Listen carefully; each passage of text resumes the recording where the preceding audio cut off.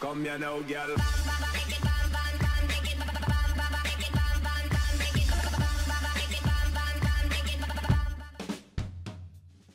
Hello and welcome to What's Map, your one-stop shop for everything workshop. I'm Bon Bombi and you're very, very welcome. Now today we've got a map which ticks all the boxes. It might not be the most beautiful map you've ever seen, it might not be the slickest, the most intuitive, but it has something and that is buildability. You're going to look at this and say, I could build on that. Actually, that's what I said. I said, oh, I could build on this and I'm looking forward to actually showing it to you because I feel that you're going to grab this one. So, if you're ready, I'm ready. Let's get that daily reminder out of the way, shall we?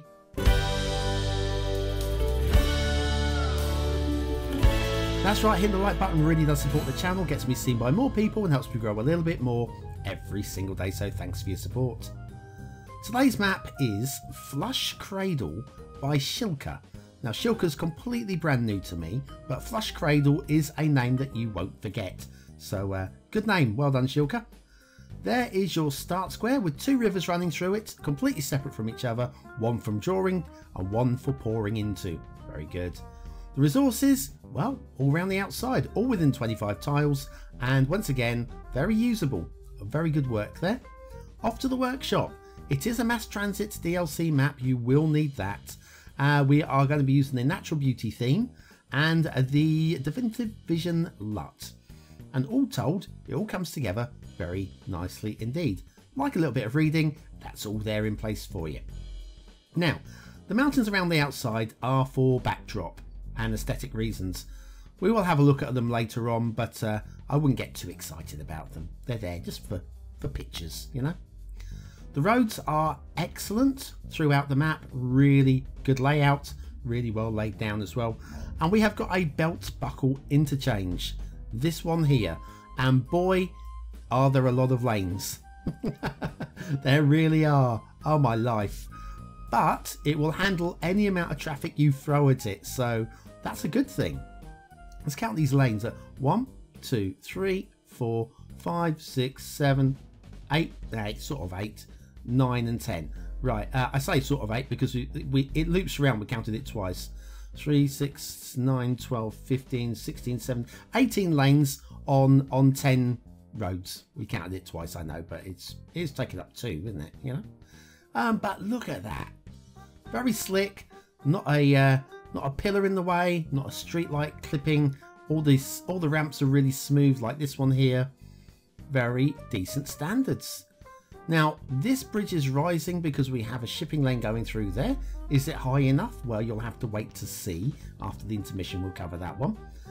Another, this looks too low, but it's not. It's plenty high enough. It's deceptively low. And again, no streetlight clipping. Again, good work indeed. Very aesthetically pleasing, I would say, as well. Coming through some, some wooded areas in towards the start square and the start square intersection. And you can make out we've already got an asset down there in place so we can have a look at that. But there you go where's that other river? That other river is over there there you go. Drawing and pumping and let's have a look at this. This is the Italian Flats Pack Rome by Zarrix now uh, if you look down here we've got some signage and this is uh, Gel Gelateria Armesto. Gelateria. It's it's Armesto's ice cream parlour. That's what that is. Oh, and when you've overdosed on dairy, you can go to the pharmacy. my Italian's about as good as my German, which is not very good. Uh, factoids, because factoids. Oh, by the way, this is a pack, three different buildings, put them together. Any order you like, make something. Um, Elsa Lanchester, I thought it was Lancaster, but Lanchester, was so shocked by Charles Laughton's confession of his homosexuality that she went deaf for a week. Or did she? Or was she just, no, I can't hear you. I can't hear you. it can't be true if I can't hear you. Oh, that wouldn't work in today's day, would it? Anyway, um, yes. Italian Flats Pack, Rome by Zarrix. That is right lovely, that is. I can't hear you. Brexit, no, I can't hear you. Oh, even the slip roads look pretty slick. The arrows could be better, but um, they're pretty slick. I don't know if you can hear the rumble going past. There's some guy on the motorbike. He's been past the block, around the block about four times now. I couldn't leave it any longer. I had to start recording. Otherwise, uh, we wouldn't get this done in time. Anyway, uh, we'll follow the roads, follow the roads around and around and around. Now, uh, there is something interesting coming up in a minute. Not earth-shattering, but interesting, like the bridge that covers here and comes down the other side. That's all good. Down the side of the river, about the only time you'll see the highway going down the side of the river is uh, right here. Then we've got this bridge that crosses across here. Oh, shipping. Shipping clipping. Uh, yeah, just, just a bit. just a wee bit, a wincy bit. Uh, then over here we've got some fields and another elevated. Uh, we are into the fog, but this is the only thing we're looking at in the fog, so I'll leave it switched on for now.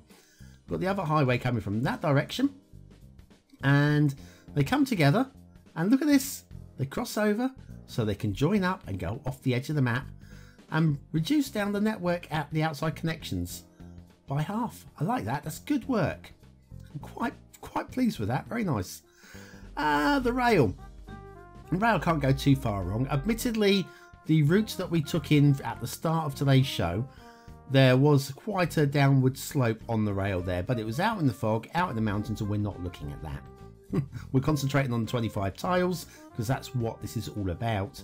We do have this. Is again, look at the ramps here. Okay, it's probably still a little bit too steep in terms of realism, well, they do say in the description they're not that worried about realism. And, uh, but even so, it, it's you can buy into this, can't you? It's not that bad at all.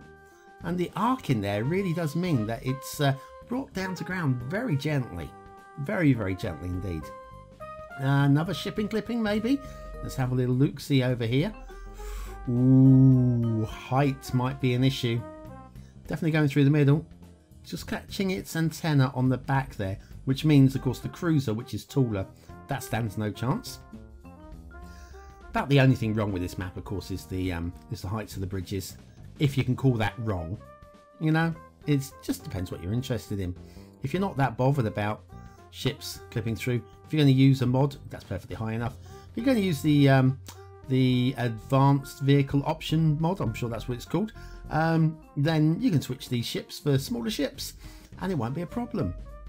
Or you can raise the bridges yourself, that won't be a problem. Or you can just let them crash through and it won't be a problem. Honestly, it's not really a problem.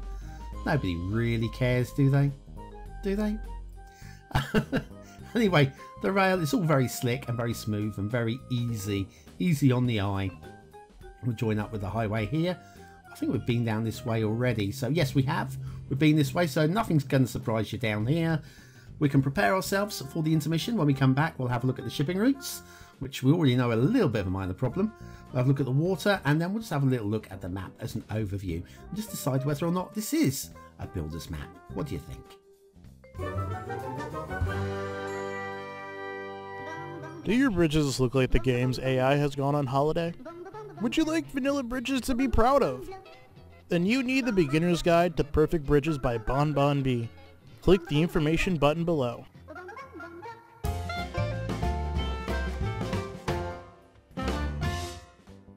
And so back to Flush Cradle by Shilka and the shipping routes. Okay, we won't talk about the heights of the bridges. We'll just have a look at the route. Make sure we don't go across country. We go down the main river. And it seems fine to me. Uh, fine to me there. Might be a little bit close. Is this high? Oh, hang on, hang on. Is this high enough? Rail bridge, rail bridge. Yeah, same, same again, same again. I mean, they look about the right height in terms of realism. It's just that these are ocean-going liners, and this is a river, which draws away a little bit. But of course, we're playing vanilla rules here. I'm bound to be playing vanilla rules. It's a vanilla map, isn't it? And so that's just a little something that you probably should be aware of. Uh, the rivers, we do have water flow down these rivers. They are working rivers, and uh, they do they do flow. Across here is the uh, this is the other river coming through the start square, the wide river. Slightly lower water flow through it, but it is moving and it's going off the edge of the map, and that's all we can ask for. So it's all centered around the 25 tiles. Let's have a little look at ah hello hello. This is probably the highest bridge that there is. Let's see how um, Cruiser deals with it. and he clips through it as well. So yes, uh, even the highest bridge is just getting clipped. Depends how bothered you are. We're not going to look any more of those. We've done that now. Uh, the mountains around the outside, a little bit of limited foliage on it just for light decor. It leaves you a load of trees to paint with uh, when you're doing your decorating later. Uh, they're okay as hills and mountains go. I don't think they're the greatest things I've ever seen, but they're certainly not ugly in any way. And uh, yeah, you've got all the resources around the outside of the uh, of the the buildable area, the 25 tiles. We come down here, you know the whole grid thing. It's so easy with flat because it's completely flat. We've got these um, these fields, and I'm a great advocate with these sort of things of actually using these for zoning. It draws you if you if you are so easily drawn into the everything has to be one big grid. Doing a few of these at, uh, at slightly jaunty angles, and then going to the next field and going right. How are we going to do with this next field? We're going to do a couple of roads this way down this next field, like that. And so you can zone in areas, pretend you're buying the fields individually, and then work into them. And see if I can just get that on turn the turn this snapping off so I can do that better. Lovely. Uh, that can go right to the end. So yeah, you got you got the gist, and then that'll take you away from bog standard. You can still end up, you can still do your um, your grid systems if you like doing grid systems, but with it being completely flat, uh, the only thing forcing you away from that would be the shapes of the rivers and the islands. But yes, uh, the rest of that map, if you wanted to go grid in the middle, you could go grid in the middle. No one cares. It's your map to build on if you like it. Uh, what I do like though is with the uh, the highways, they're not too close to the rivers, so they do give you lots of opportunity to build on either side of the highway, which is also good work again. I don't know what more to say really, apart from it's it's a very neat little map. So what do you think though? Is it a one star map? Is it a five star map? Is it somewhere in between? Your vote really does count. We use it at the end of the month for the Viewer's Choice Top 10. Will this be one of the top 10 maps of the month? Well, only you can decide. And I think it's going to be in there, you know. I don't know if it's going to be top 5, but it's certainly solid enough and interesting enough to have a go with, isn't it? Eh? Aesthetically, okay, it's not brilliant. It's not brilliant, but it's solid. It's fine. Nothing wrong with it. Three stars. Detailing, very good. Very, very good. Yes, we've got slightly too low bridges, which is going to stop any fifth star. But other than that, very slick. Very good work, Shilka. Four stars. Gameplay potential. I would give the fifth star, but I just get the feeling that I would have liked a little bit more undulation with the map, just to bring in the third dimension a little bit. But even so, it's a very, very high four stars for gameplay in my book. So there we are. Flush Cradle by Shilka. Very buildable. I could build on this. Do you know what? I like it so much, I'm going to do it. Let's do it together.